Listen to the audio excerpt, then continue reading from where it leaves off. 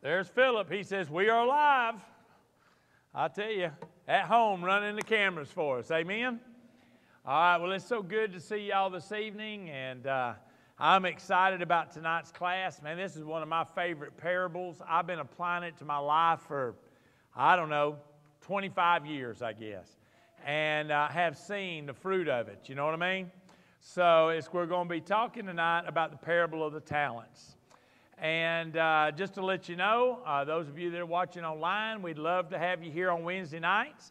Plenty of room to uh, social distance in the sanctuary, obviously. Uh, the children are down there going wide open.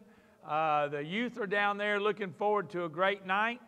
Uh, we have more classes that are going to be beginning soon. Um, we're going to be having registration for classes this Sunday for a new ladies class on Daniel. We're going to be finding out if we're ready to start the Sunday school hour. I know the numbers of COVID are going through the roof, but if it's here to stay, we got to find out how we're going to live in it. Amen? And uh, I don't know exactly what the sermon is going to be on Sunday, but God's given me the title.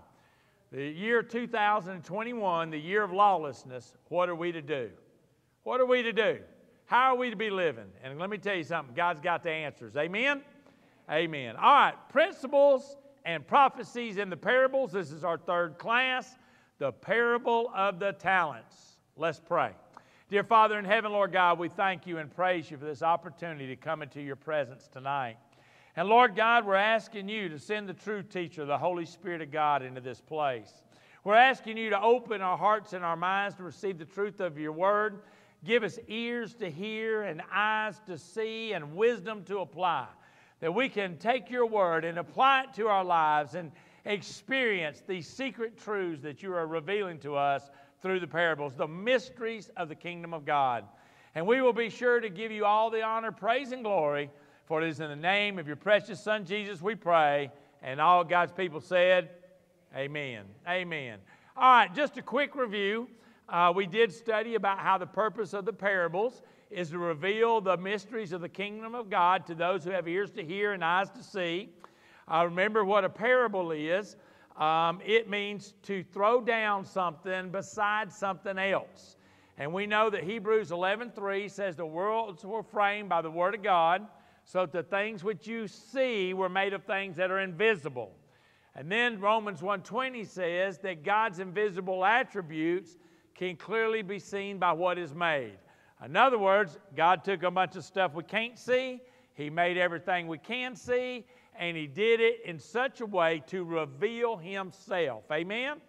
And so that's what parables are all about. It's about taking something natural and you lay it down that runs parallel to something spiritual that you cannot see.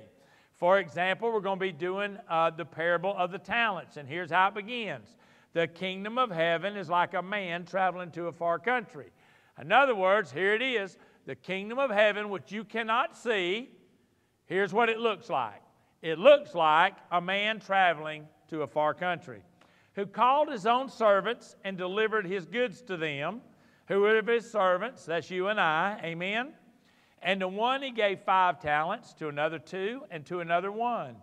To each according to his own ability, and immediately he went on a journey. So it's just like the situation that we're in. The kingdom of God is like Jesus, okay, who is the King of kings and the Lord of lords, right? And he's gone away and he's left you and I, his servants, in charge of certain things.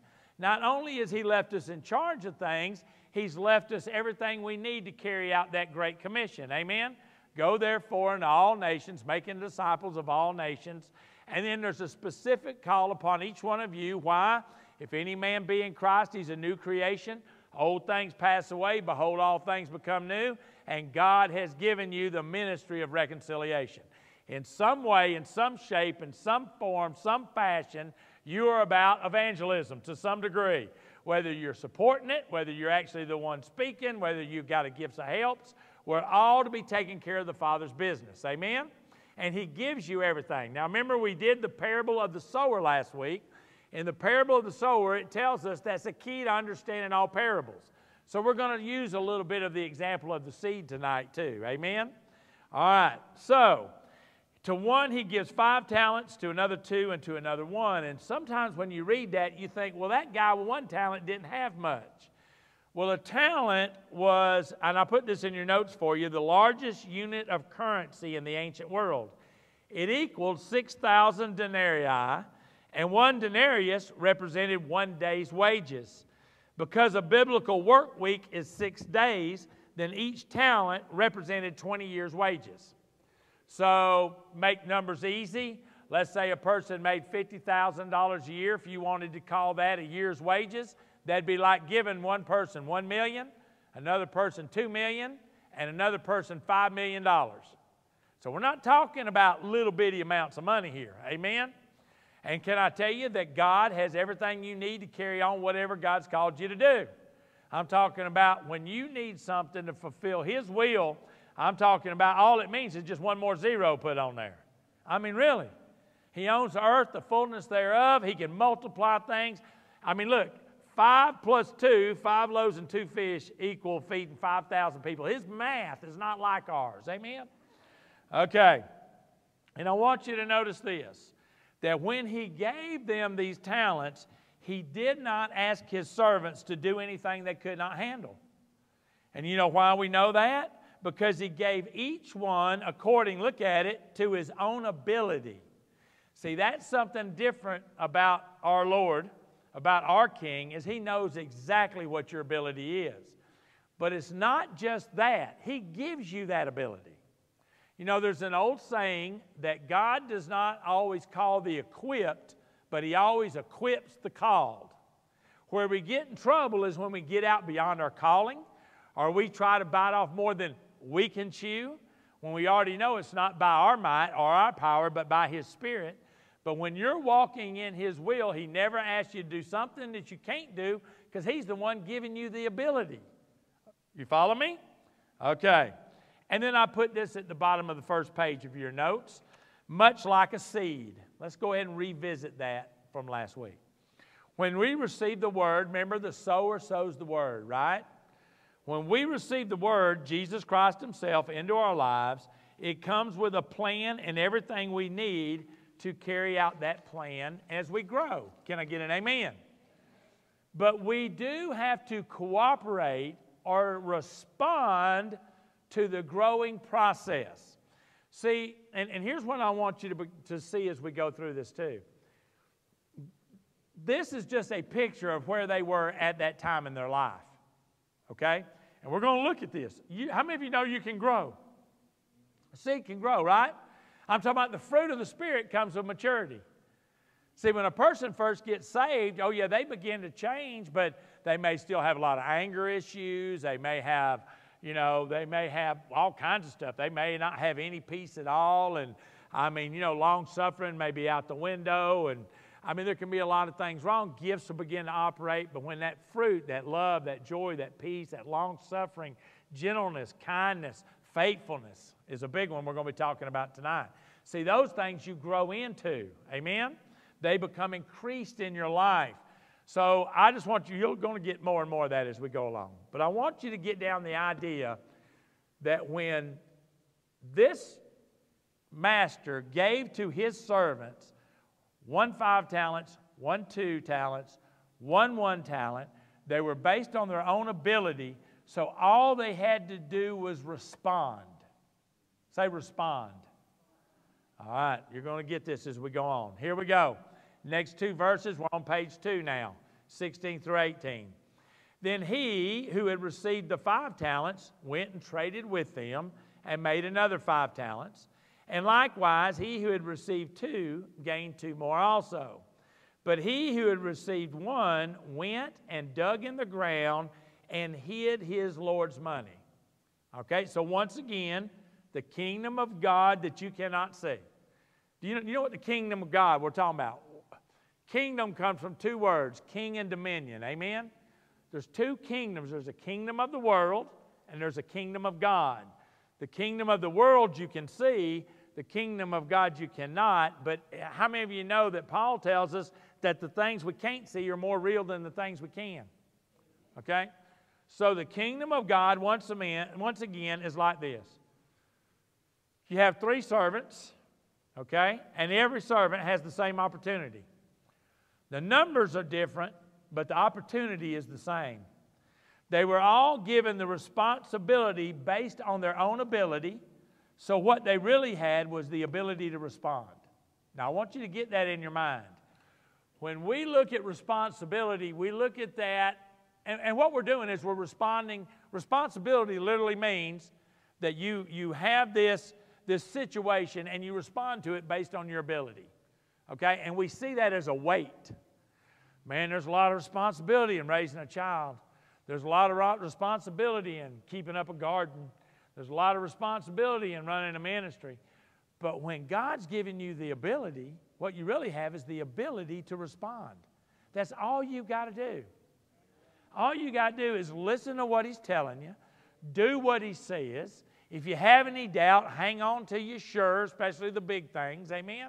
And I'm talking about He has a plan for your life, okay? All right. Two servants responded the call. See, God has a calling on your life. All you got to do is respond to it and walk in it now. And, and why is this so important? Because He loves you and He wants to have a relationship with you. That's what we're really talking about here. The calling upon your life and the commission that He gives us is a way to experience Him. How many of you ever seen God do something in your life? Anybody you know it makes you feel so close to Him, right? Because you know that is God. Nobody else could have done that. There really is a God, and He really did do that. Amen? Okay. Two responded to the call, and one did not. What did he do? Instead, he, he hid his Lord's money. And so, what is the picture there? Remember, parable's a picture. So, you've got this king, he gives three servants things, and they all know they're supposed to do something with it, right? I mean, obviously. Because the five, they, they take what God's given them. Let's just go ahead and call it what it is. They take what God's given them, and immediately they go to work, right? But one guy just goes on about his business, right? I mean, come on now, think about it. If, when you hide what God's given you, what are you doing? You're putting it somewhere and you're going on about your life. How many times do we see that happen in people's lives? That God trusts them with something and they just kind of, I've, listen, I've seen people have near death experiences. This always, always puzzles me. And they'll have a near death experience and they'll go, Man, I know God spared my life, so He must have something for me to do. And I'll be like, Well, don't you think maybe you ought to figure out what that is? I mean, I have seen that so many times. People say, I know God's got more for me, and then just never give God another thought. It's the same thing that's happening here, folks. I'm talking about he just put the money to the side and went right on with his life, okay? And I put this in your notes. Two servants responded to the call, one did not. Instead, he hid his Lord's money and went on with life as usual. Just because he was responsible for less does not mean he had any less responsibility. We all have the responsibility to respond to God's call wherever we are with whatever we have. And then it's a growing process from there, okay? Colossians 3 23 through 25 says this, and whatever you do, say whatever, whatever you do.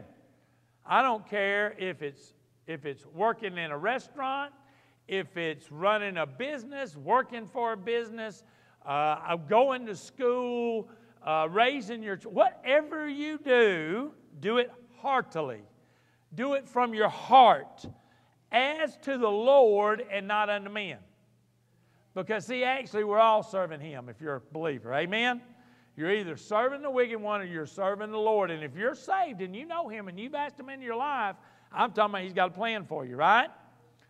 So, whatever you do, do it heartily as to the Lord and not unto men, knowing that from the Lord you will, say, you will, not you might, I'm talking about you will receive the reward of the inheritance. How many of you know that it's impossible to please God without faith? For to please God, one must believe that He is, and that He is a rewarder, say rewarder, of those who diligently seek Him. Amen? All right. for you serve the Lord Jesus Christ. But he who does wrong, okay, like the one who just took his talent and hid it, will be repaid for what he has done, and there is no partiality. In other words, I'm talking about it's not like God doesn't, God lets this one off the hook and doesn't let that one off the hook. Amen? I'm talking about, you know, there's no big I's and little U's. Can I get an amen? Okay. So, with that in mind, especially the part there is no partiality, the next two verses are this. Not, well, we're going to read a few verses here 19 through 23. And it says, After a long time, the Lord of those servants came and settled accounts with them. So he gave them plenty of time. I don't know about you, but I'm ready for Jesus to come on back. Amen. But he gives you time, and after a long time, he comes. And I got news for you, he's coming. And whether he comes or you're like my little sister and you leave, you're going to end up standing before him. Amen? If you're saved, you go before the judgment seat of Christ. If you're not, you go before the white throne of judgment. But every one of us have this moment in our life where we're going to give an account of what we've done with it. Amen? So he who received five talents came and brought five other talents, saying, Lord, you delivered to me five talents. Look, I have gained five more talents besides them. His Lord said to him, Well done, good and faithful servant. You were faithful over a few things. I will make you ruler over many things. Enter into the joy of your Lord. Now, here we go. He who had received two talents came and said, Lord, you delivered to me two talents. Look, I have gained two more talents besides them. Well, you did good, but you didn't do quite as much as the guy with the five. So, no. He says this His Lord said to him, Well done, good and faithful. Say faithful. Faithful servant. You have been faithful over a few things. I will make you ruler over many things. Enter into the joy of your Lord. They both got the exact same reward. Why? Was it based on the outcome? That one of them preached to a million people and one of them preached to a hundred people? Was it based on one of them ran a multinational uh, ministry or ran a Sunday school class? No. They were faithful in whatever God called them to do. And there's not a human being alive that can't be faithful. It's not withheld from anybody. And God does it upon your ability, but what I want you to see is you can move too. We're going to get this in just a second, okay? As a matter of fact, um, I want you to see this in your, in your notes. I put this down. I said uh, he, they received the same reward based on faithfulness and not on outcome. Do you remember what we looked at last week from 1 Corinthians? Some plant, some water, God gives the increase. So they didn't make that increase anyway. All they were was faithful. All they were were people who did whatever God told them to do and let Him lead the way, and He made it grow. He brought the increase, right? All right, now we begin to see a principle. Remember, we're talking about principles and prophecies. My friend, this parable has both. The prophecy is, is that one day, if we'll just be faithful, well, whatever God has given you at this moment, Wherever you are in life, we have a young lady back here with us that she's in her teenage years. Whatever God has trusted her with at her age, or maybe some of us who are older that have had more time, whatever you have at that time, if you're faithful in it, I'm talking about that's what God is looking for. Amen? And you will enter into the joy of the Lord. There is a, I don't know about you, but could you imagine God actually saying, Well done? Can you imagine living your whole life I mean, listen, I can remember graduating high school. That was pretty cool. Amen. You know, I, I, remember watching my daughter when she went to graduation at college. I thought that that's great. Weddings are great, but I'm talking about when God says well done. Boy, oh boy, oh boy, oh boy, oh boy. Anyway, amen. I mean, I want to hear them six little words. Well done, good and faithful servant. Amen. Okay. But here's the principle. Remember what a principle is. When you do this, this is going to happen. Okay? It doesn't matter whether you believe it, whether you know about it, it's going to happen. It's like whatever a man sows, that shall he also reap. So if a man sows corn, he's going to reap corn. If he sows an apple seed, he's not going to get a peach. Amen? If you do something good, you're going to get something good. You do something bad, you're going to get something bad. All right. This is a principle, and you see it begin to develop. And I put this in your notes. And here's what I want you to see with every privilege comes responsibility. Okay? Anytime you have a privilege, it comes with a responsibility. And with every responsibility fulfilled comes more privilege. Here's two talents. I accept the responsibility. You give me the increase. Now I have four talents. He says, I will make you ruler over many things. You don't think that's going to carry more responsibility? You were faithful over a few things. Now I'm going to make you ruler over many things. You were faithful over a few things. Now I'm going to give you more responsibility. And if you accept that responsibility, then I'm going to give you another privilege. And with that privilege is going to take more responsibility. It's like a wheel that turns. Okay. If if I'm renting an apartment and I don't pay my rent, nobody's going to mortgage me a house. Right? If I have a job, maybe I don't like it much, but if I don't come to work, I would not look for them to give me that promotion. Okay? It, it applies to all of life. Okay? I'm talking about every privilege has a responsibility with it, and it leads to another, another privilege. Amen? Privilege, responsibility, privilege, responsibility, and it's like a wheel that turns that you can go through life. Amen? Okay. Like I said, whatever God is trusting you with at that time. Whenever people, I'll give you an example. You know, there's a, there's a ministry uh, that I began many years ago. And uh, when I say many years ago, 25 years ago was really the birth of it. it became official maybe over 28 years ago. Called Parents with a Purpose. Out of Parents with a Purpose, we began Good Samaritan Health Center. So it actually grew out of Parents with a Purpose, literally.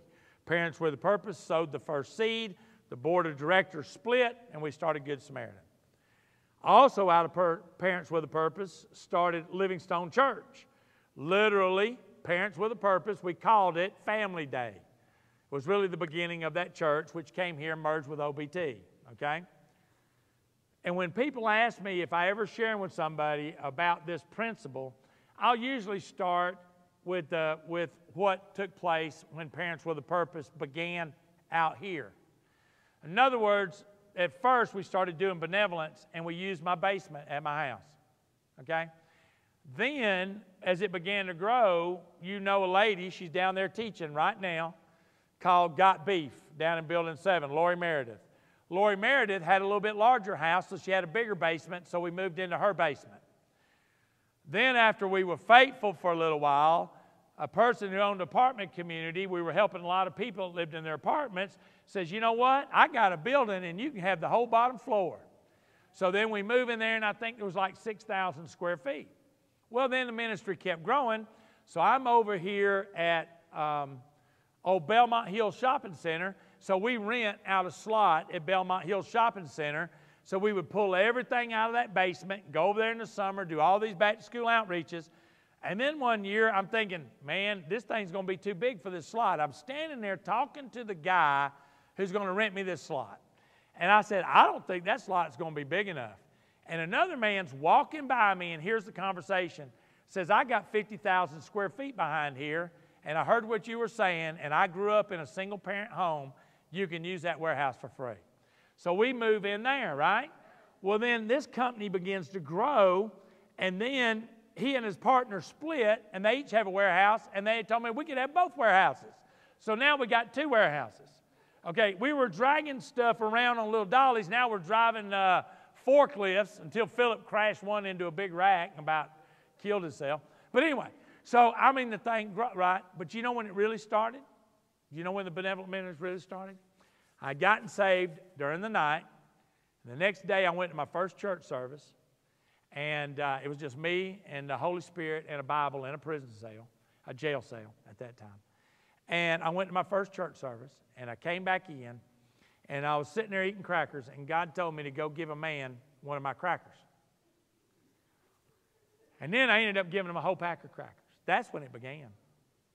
It began giving a man in a jail cell a pack of crackers, if you want to know the truth, in God's eyes. Okay? Wherever you are, whatever you have at that time, if you'll just do what God tells you to do. And I'll never forget it. God said, Go give that man a pack of crackers. I don't know if you've ever done time, but I was like, I can't go give that man a pack of crackers. He's going to think I'm funny. But anyway, it worked out really good. He ended up being in Bible study and got saved over that pack of crackers. Okay? Listen, I was teaching on this one time, and uh, this is years ago, and Sharon Wright sitting right there. I was talking about how we can all do something with what we got. So we were going into the youth detention center every Tuesday night. I'm working 72 hours a week uh, running the dry cleaners plus doing ministry, right? Because I'm in this process of growing and being faithful. And she comes over with some homemade baked cookies that her and Elena right there and her two sisters baked. Well, when they came over to the dry cleaners, they were still hot cookies. They were like these chocolate chip cookies. So I go walking into the youth detention center, and the smell of those cookies started going down those hallways with all those cells in them. Buddy, when they opened up for church call, every kid in there came out to church. Boy, they was wanting one of them cookies. Amen? Come on now. All right. Here we go. Here we go. But now let's let's see what happens when we refuse to respond, okay? Matthew 25, 24 through 25. Then he who had received the one talent came and said, Now there's a lot going on here for a short verse of scripture. And this is when you really get into the parables because every parable is a picture. Every picture is worth what? A thousand words. So this could apply to so many situations. Like you really, okay, you'll, you'll see. Look. Then he who received the one talent came and said, Lord, I knew you to be a hard man, reaping where you have not sown. See, you're not supposed to be able to reap where you hadn't sown. Amen? So there's something special about this Lord, right? reaping where you have not sown, and gathering where you have not scattered seed. And I was afraid. In other words, I didn't use faith, instead, I had fear, right?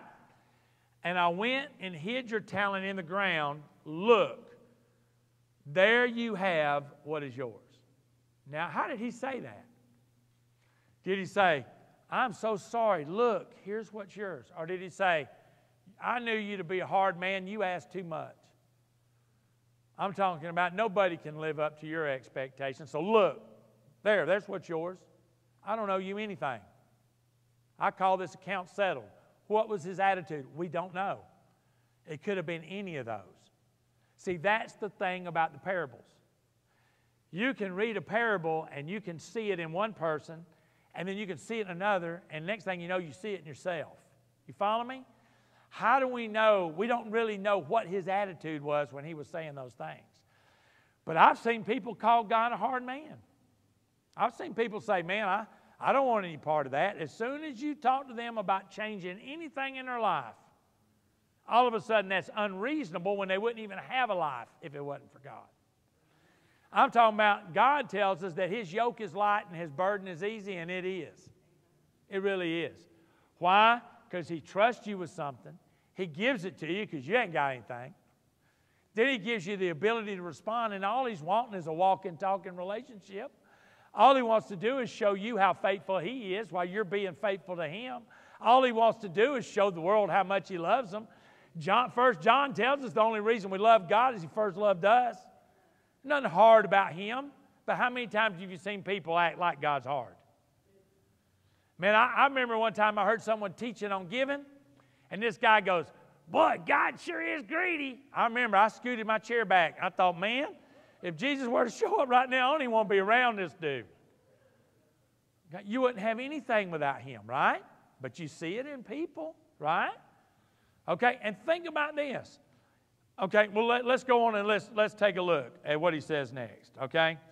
And here's what his Lord says to him. But his Lord answered and said to him, you wicked and lazy servant. Now, I, I kind of hit on this on Sunday, and that's why I wanted to teach on the parable of talents. Wickedness, you know, in our eyes, very often we think of some overtly act that we can see in front of your face, right? Some, you know, horrible thing that people go out and do, right? Maybe some guy that's like, you know, enslaving women or something, something like that. But in the eyes of God, man, wickedness is a little bit is can be a little bit different. Amen. And one of the things that's wicked is when God offers you a blessing and you count it as common or a trivial thing. I mean, he gave the man 20 years' wages. Now, how would you like to have that seed to start a ministry, Brother Jerry? Huh? 20 years' wages to start your ministry. I mean, I'm talking, he ain't starting with a pack of crackers in a jail cell. Okay? And I'm talking about, and treats that as common, like, oh, that'd be too much of a hassle. Let me tell you, just like King Ahab, God allowed him to become king of the nation of Israel, and he counted it a trivial thing to walk in the ways of Jeroboam. I'm talking about, man, that's wickedness in the eyes of God. Okay? What about when God offers salvation to someone and they act like there's nothing to it? Come on now, same thing, okay? He says, You wicked and lazy servant. You knew I reap where I have not sown, so you know that I'm not like everybody else. And I gather where I have not scattered seed. You ought to have deposited my money with the bankers, and at my coming I would have received back my own with interest. In other words, think about it.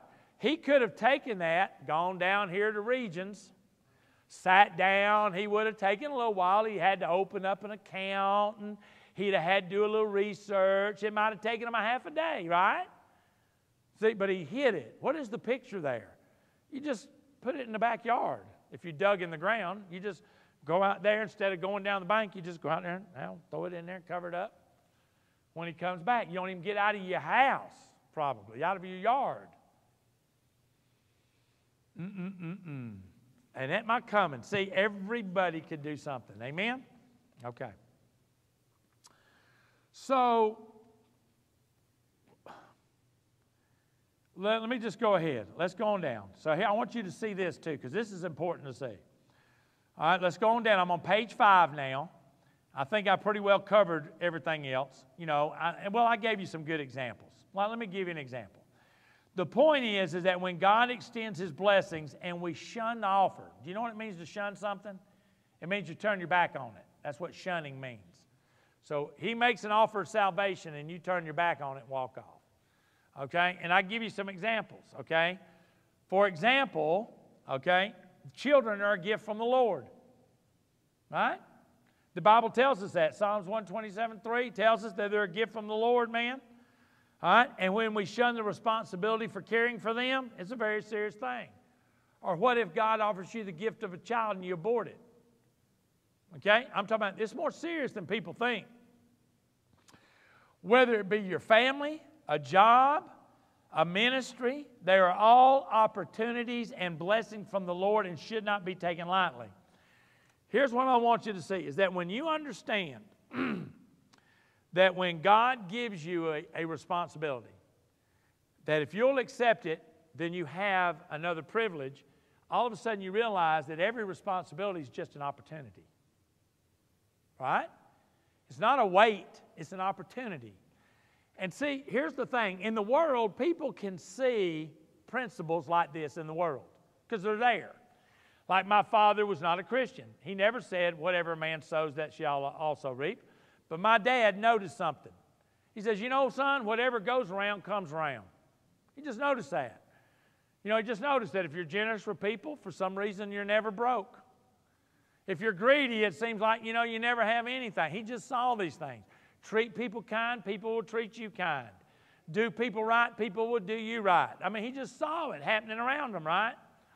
Well, see, the world sees this, and what can happen to a person in the world is they become driven because they're trying to do it by their might and their power. In other words, they see that if I accept this responsibility, then there's a privilege that comes after, and they think that somehow or another, if they can climb their way to the top of the corporate ladder, they'll be happy. And so they start trying to ride this thing that I'm talking about, but they're doing it out of their own power, and they become exhausted, they become worn out, they become workaholics, they start losing their family, they start losing their marriage because, see, they're doing it by their own might and by their own power. Whereas God, the kingdom of God you can't see, He wants to give you the ability to do. See, Once again, before I got saved, I was in an illegal business, okay? I knew if I worked hard at it, I could grow in that illegal business, but then God would step in and just take it all. I mean, I knew it was God. Didn't know who He was, didn't know how to be saved, but I knew it wasn't normal. I mean, I'm talking about really. He used to mess with me when I was out there running against the wind. So, people can see it, but they don't understand how to really operate in it and apply it. It's not a joy unless you're doing it in the Lord. Okay, if you're trying to do it with it, and I don't care if you're doing ministry, you start trying to do ministry by your own power, you will become burnt out quick. If all of a sudden you start looking around, I had someone share this with me. If you, he was talking about how sometimes he shared wonderful things God has done with other ministers, and they start getting jealous and angry. Okay? Well, I got news for you. The only reason it's not happening for them is they're not being faithful in some kind of area. Okay? And if God calls, calls you to lead this size church, then you want to lead that size church. If He teaches you, if He wants you to teach a Sunday school class and work a job, you teach that Sunday school class. And the reward's going to be the same. Well done, good and faithful servant. You have been faithful over a few things. I'm going to make you ruler over many things enter into the joy of the Lord. Okay? But now I want you to see how this thing can also go backwards on you. I want you to get this now. It'll go backwards on you. Look what happens to this guy. Matthew 25, 28 through 29. I'm on page 5. So, that means because this guy did what he did and hid that money in the ground, so take the talent from him and give it to him who has 10 talents. For to everyone who has, more will be given. Okay? And he will have an abundance. But from him who does not have, even what he has will be taken away. So he who has been faithful is going to have an abundance. He who has not, now he's going to lose what he has. Okay. So God, and I, I gave you some examples. For example, a person may have the privilege of an automobile. An automobile is a privilege, right? But he doesn't accept the responsibility of caring for it. I just, man, we just went and had Danny's battery changed in her car today. You know what it costs to have a battery changed in a car today? $267. The labor, because the crazy battery is not under the hood anymore. They got to go back there and take something apart in the back. And the battery was like, I'm like, you know, I remember them days when you used to, you know, go down and buy yourself a little alternator and put it on a car with two bolts. Well, those days are gone, aren't they? So if you have an automobile, I, prom- I promise you, you're going to have some responsibility. You're going to have to pay insurance. You're going to have to put gas in it. You're going to have to take care of it. Amen? So if they don't accept the responsibility of caring for it, it breaks down. Now you can't get to work. Now you lose your job, and what are you doing? You're rolling backwards. Okay? Or maybe a person, page six, wants the privilege of money, like a talent, without accepting responsibility and working for it. So he deals drugs or steals it. He tries to take a shortcut. I got news for you. Prisons are full of people trying to have privilege without responsibility. Okay? What happens? Then you go to jail. What happens when you go to jail? You lose all your privileges right? But guess what? You don't have any responsibility either. When you're in jail, you don't have to pay rent, you don't have to buy groceries, you don't have to pay a power bill. But guess what? You don't get to choose what cell you're going to be in. You don't get to choose what you're going to eat. And you don't get to say when the lights go on and off. Why? Because you can't have a responsibility without a privilege. But I got news for you. You can't have a privilege without a responsibility either way. They go hand in hand. Do you see what I'm telling you? Okay. All kinds of people think they'll be happy if they could sit around and have someone sending them checks without accepting any responsibility. And it just doesn't work like that. Amen? Okay. The point is, you cannot have a privilege without responsibility. You cannot have a responsibility without a privilege. This is good. I want to read it to you. It is a principle of life revealed to us by the Creator of all things. Right? Who is Jesus? He is in the beginning was the Word, and the Word was with God. Word is God and was with God. Through him all things were made. He made all this stuff. so that we can see the things that we can't see, right? You can either ride it or you can fight it, but I promise you, you will not win. Like I said, I tried. And you think you got this thing turned in your direction without accepting responsibility, and next thing you know, man, God just come and take it. Okay? Listen, you might as well get on, for to everyone who has and exhibited responsibility, more will be given, and he will have abundance. This word abundance comes out of the Strong's Concordance. I just used that definition. And you know what it means? To superabound. Isn't that a strange word? I've never heard anybody really use that word. You don't just abound, you superabound. Okay? It means to have an excess. In other words, when you're faithful with God, look at what he did. He started out with 20 years' wages to the little guy. I'm talking about you don't, if you're struggling, okay, look, if the ministries, and this is this is amazes me, okay? Every January, it's almost like, I mean, I don't know how God deals with everybody, but it's like God's running on a calendar year with me. And every January, and I told Jerry Brooks back here I could feel it, and guess what, Jerry? That day something happened. Something that blew my mind. Me and Danny were speechless for about 20 minutes. I'm talking about every January, everything that God has trusted me with goes to another level, okay? And it's been going on steadily for all these years. Well, COVID hits. Now, if COVID hit and everything didn't increase like it has been, it wouldn't surprise me because of COVID. But you know that everything has increased the same amount it increased in 2019 and the same percentage it increased in 2018. It's like it didn't even slow God down in any area. So, if, especially now that COVID has happened and I see that God doesn't lit up one bit because of that, God speaks to you through this. If all of a sudden you're running short for everything, you know what you do? Dear Father in heaven, Lord God, what's going on? What's going on? What do I need to do? Because I know you're not lacking and I know your kingdom's not lacking. You know, why? You know, if you go to the book of Malachi, you know, in the book of Malachi, the people are asking God, Don't you love me? Because he starts out by going, I have loved you. Well, why are they asking God if he doesn't love them? because all of a sudden they're suffering financially. Why do you think God uses? God uses money in a lot of parables. You know why? Because where your treasure is, your heart is. So it's a great way for God to give you an example. All he's talking about here is being faithful with your heart. See, those guys with those talents, when they got them, they said, Man, I'm going to go out and do something for my Lord. Look, Lord, what I did. I had two talents, now I got four. I had five, now I got ten. One of them says, I'm not doing anything for the Lord, and he puts it in the ground. Okay? I'm talking about where was his heart. His heart wasn't with the Lord, was it? The other two were excited to go to work, and they were excited to report what had happened. They were excited. I guarantee they were giving God glory all the way through the whole thing. Amen? Okay. So, it means to excel, to surpass. In other words, if all of a sudden the manna quits falling, See, God doesn't even need five loaves and two fish. He can put you out in the desert and manna will fall.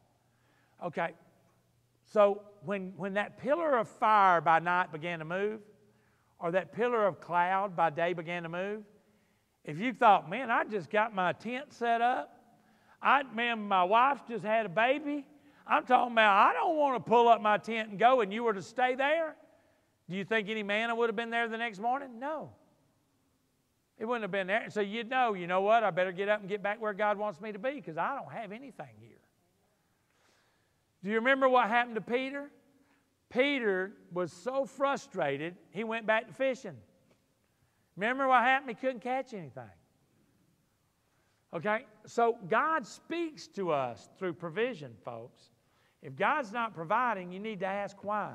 Because He is Jehovah Jireh, our provider. And so sometimes he'll use finances to slow you down. You need to wait a minute. Okay? Like I, I always say this I think that interest is the worst thing that ever happened to the churches because you don't need it. In other words, loans, mortgages, you don't need those. Okay, in churches and stuff, you're getting ahead of God if you got to go do that. Like Good Samaritan Health Center, when we started building that, God put it on my heart to start that thing. I said, Lord, there's no one church going to do this vision. We're talking millions of dollars a year doing health care. The whole United States of America can't do it. So if it's going to be your deal, then it's got to be your bill because I don't have the money. And so we built that thing, and I remember guys on the board said, Man, we better get a revolving line of credit, man. We got this thing going. And I, I told them, I said, We ain't going to need it, but you can get it if it makes you feel better. They went and got it. We've never used it. You know how we know when we're in, when, when you know how we know we need to pray and start seeking God? Anytime our bank account gets less than a million dollars. When it gets less than a million dollars, we all go, well, we need to start figuring out what we need to be doing. We're not in trouble. You don't have to make any emergency decisions. It's just we're down below there. So, Lord, what do we need to do? Do we need to talk to some people? Do we need to revisit some people? Do we need to take a look at what's going on and make sure we're not being wasteful? Just show us what we need to do, God. Okay? I'm talking about when Obamacare came into action, we thought, well, God, are you through with this ministry? Because our ministry, Good Samaritan, the only people that we reached out to were people with no insurance. Okay? That's all we see. And when Obamacare came out, we thought, well, if everybody's going to have insurance, maybe you don't need us anymore. God, do you need us anymore? And so we started, because if you don't, it's okay. I don't care. I could care less. When I see people just driving themselves crazy trying to keep a dead ministry alive, what are you doing? If God isn't breathing life into it, let it go. Okay? I mean, I don't, you can sit there and try to resuscitate a dead horse all day, he's going to stink. So it's fine with us. We'd all just go do something else because God's got plenty to do. When I see people like they're trying to get God to bless what they're doing, I'm going, man, you got this thing backwards. You be faithful in what God's calling you to do right now and just ride it. Ride that wave. Amen? So, the, the QuikTrip building down there, right down here at Good Samaritan, it was a QuikTrip in front of them. They moved down to the corner of um, South Cobb Drive and Austell Road. So there's this little QuikTrip building sitting there. We were built behind it. And so we asked them, if you ever sell that QuikTrip building, we'd like to buy it. And uh, so they said, well, you know, we want $800,000 for it. We said, well, we'll give you like 350. And they started laughing like, you know, we're a healthy company. We don't need, you know, we'll just wait. We'll get our money for it. Okay. So when this Obamacare thing happened, all of a sudden we're asking God, do you even need us anymore? Okay. All of a sudden we got a letter that because of electronic medical records, that we had been like number one, number two, number three in America all right, of showing how much we really help people. And then also, we keep really good records of people making sure they really need help. So there's something called a federally qualified health center, and it's because they can look at it on electronic medical records. And they said, We've deemed you to be a federally qualified health center. We're only number two in America that's overtly Christian because our, our mission statement is to spread the love of Christ. That's what it is, okay? So here's the government Okay? Now, this is as soon as we're asking, do you want to shut it down? They said, we're going to make you a federally qualified health center, and because you're ministering to the neediest of the needy and you're doing it with excellence, any doctor that wants to do their internship there, we're going to knock $50,000 a year off the school loan. Any dentist that wants to do their internship there, we're going to knock $50,000 a year off the school loan. I mean, I'm talking about doctors just beating door down, won't come volunteer, right? And then they said it also comes with a $1.2 million gift. Well, the first thing I said was, well, does it come with any strings attached? Because we don't want it if it does. And so we could, because we never took government funding ever. But it's not based on future. If you take a government grant for something, they will not want you to share the gospel and things because that's not what government money's for. Because that's what you're doing in the future. They said, no, no strings attached. This is not something that you're going to use in the future, it's a reward for past. So no strings attached. So we're thinking, you know, is that God? Then all of a sudden, QuikTrip called two days later. Says, hey, we've decided that we'll take $350,000 for that property. And the guy said he don't even know where the words came from. He says, we'll give you 250 So we bought that thing, cash money. Now we had the first Christian mental health department that I know of. Okay, and now we're about to join two campuses together and expand. All God never borrowed one dime. Okay? I'm talking about our God does not need a mortgage. He guides and directs you. You get out ahead of Him when you start having to borrow money. What does the Bible say? The borrower is slave to the lender. God's people, and the Son makes you free, you're free indeed. Now, I'm not saying that if you got a mortgage on your house, you committed a sin. What I am telling you is He can help you get debt free and you don't have to live in debt. Because if you're in debt, you're running ahead of them. Because I'm talking about the manna is there. All right, we're coming in for landing. I'm getting carried away. So here's the, here's the ultimate rejection right here at the bottom of page six. This is the last verse of scripture in this parable. He says, And cast the unprofitable servant into outer darkness. There will be weeping and gnashing of teeth. So, this is the ultimate warning. How many times a day is God offering the gift of salvation, which He paid for Himself? And He's going to give you the faith, and He even gives you the faith to believe it. It tells you that in Romans, right? You're saved by grace through faith. And in Romans 12 3, it tells you God's given you a measure of faith. It's like the talent. He's provided the sacrifice, He's giving you the faith, everything you need, right? And you don't respond to it. Well, there's going to be weeping and gnashing of teeth. So it's not like God saying, well, if you don't work for me, then you're going to. No, you don't lose your salvation because you don't work for God, okay? But I got news for you. It says that you have been saved by grace through faith, that not of yourselves. It's not of works, lest any man should boast.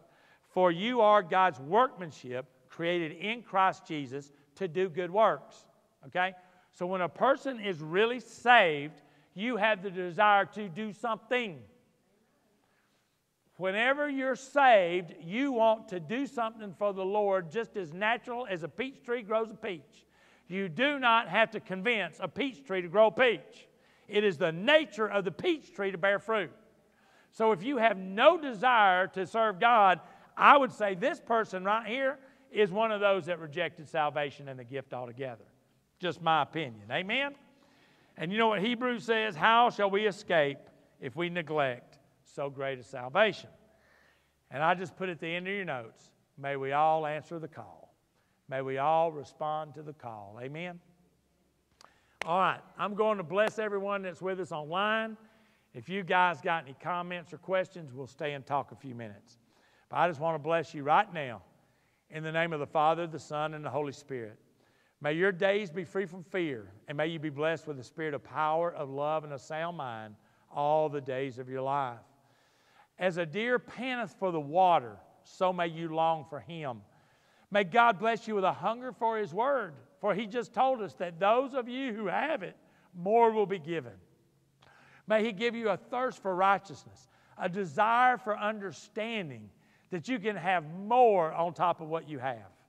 I pray that God bless you with the courage to let your light shine, that when men see your good works, which God has called you to do and provided everything you need, you'll do it in such a way that they will glorify your Father in heaven.